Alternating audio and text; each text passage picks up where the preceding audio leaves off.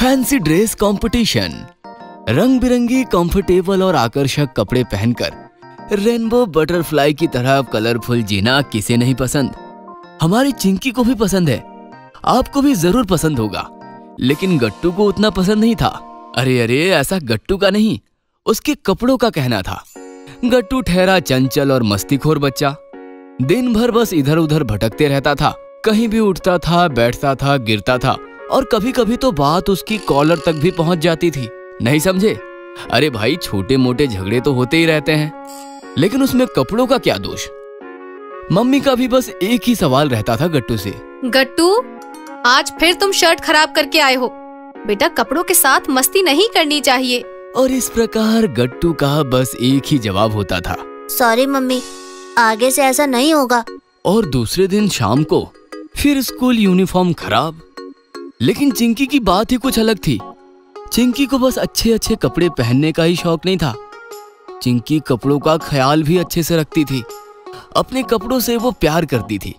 दाग तो दूर चिंकी के कपड़ों पर छोटी सी मक्खी भी नहीं बैठी देखी किसी ने।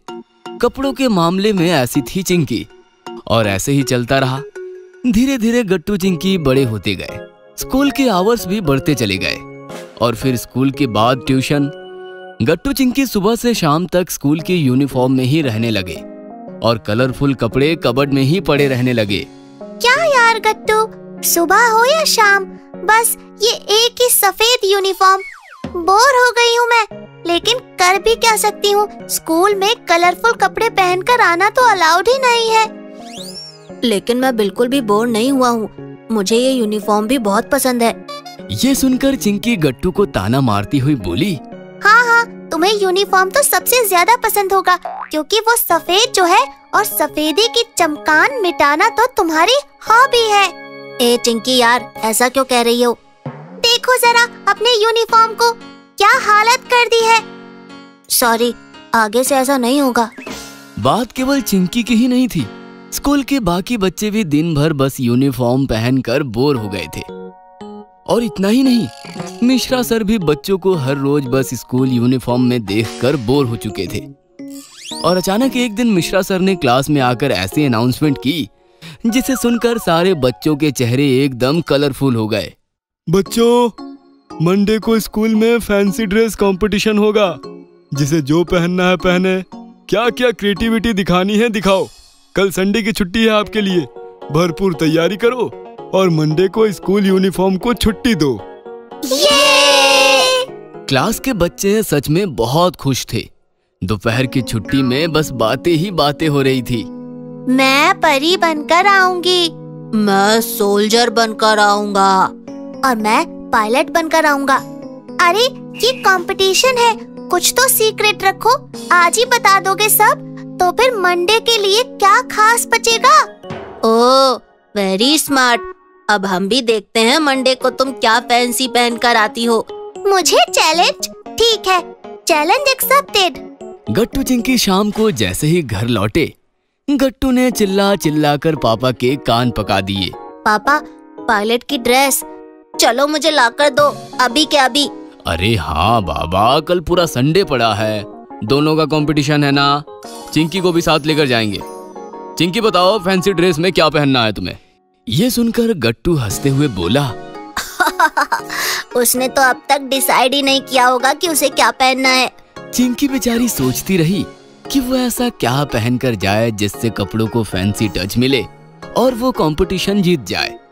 लेकिन उसे कुछ भी सूझ नहीं रहा था। गट्टू तो चिंकी के सामने उसे चिढ़ाने के लिए नाच रहा था। मेरी पायलट वाली ड्रेस आ रही है। तुम्हारा क्या? बोलो बोलो बोलो। बेचारी चिंकी दुखी हो गई। और मम्मी के पास जाकर रोने लगी। मम्मी ने उसे समझाया और फिर कबर्ड खोलकर उसे अपने पुराने कपड़े दिखाए चिंकी उन कपड़ों में बहल गई। वाह मम्मी आपके तो बचपन के कपड़े भी हैं इसमें। हाँ संभाल कर रखे हैं मैंने। अचानक चिंकी को एक आइडिया आया और वो एक्साइटेड होकर मम्मी को बिलक गई। थैंक्स मम्मी मुझे आइडिया देने के लिए। और आखिर वो दिन आ ही गया जिसका सबको इंतज़ार था। फैंसी ड्रेस कंपटीशन का दिन। मंडे के दिन स्कूल के सारे बच्चे फैंसी ड्रेस पहनकर आए हुए थे। गट्टू तो पायलट बनकर बस इधर उधर उड़ रहा था। बच्चों को जज करने के लिए खास जज बुलाए गए थे। अरे कहाँ है वो चिंकी? बेचारी डर के मारे घर से निकली ही नहीं थी। तभी चिंकी की एंट्री हुई और सब उसे देखते रह गए। फिर एकदम से हंसने लगे। क्योंकि चिंकी ने बहुत सारे कपड़ों के छोटे छोटे टुकड़े करके उनसे एक ड्रेस बनवाई थी। अरे चिंकी और दूसरा कुछ नहीं मिला पहनने के लिए। ये क्या फटे पुराने कपड़ों की दुकान लग रही हो एकदम? जजेस ने चिंकी को जज किया और फिर रिज़ल्ट सुनाया। तो बच्चों इस फैंसी ड्रेस कंपटीशन की विनर है चिंकी। ये सुनकर गट्टू और बंटी एकदम शॉक्ड हो गए। मैं जानता हूँ आप हैरान होंगे। और मैं भी हैरान था चिंकी की क्रिएटिविटी देखकर। आप सबने बस रेडीमेड ड्रेस लाकर वह पहन लिए। लेकिन मैं देख पा रहा हूँ कि चिंकी ने कुछ क्रिएटिव किया। उसने अपनी मम्मी पापा के बचपन के कपड़ों से लेकर आज के कपड़ों में से सबका एक एक पीस लिया और एक बेहद खूबसूरत ड्रेस बनाया। उसकी इस क्रिएटिविटी से पुराने जमाने के कपड़ों का पैटर्न पता चलता है। उस जमाने में क्या पहना जाता था? उस टाइम का फ़ैशन। आज का फ़ैशन। बहुत बड़े बड़े रेफरेंस जुड़े हैं उसकी इस फैंसी ड्रेस से। उसकी ये ड्रेस मैं आगे स्टडी के लिए भेजूँगा। लेकिन अभी मैं चिंकी को बुलाता हूँ ट्रॉफी लेने के लिए। चिंकी स्टेज पर गई और उसने अपनी ट्रॉफी ले ली।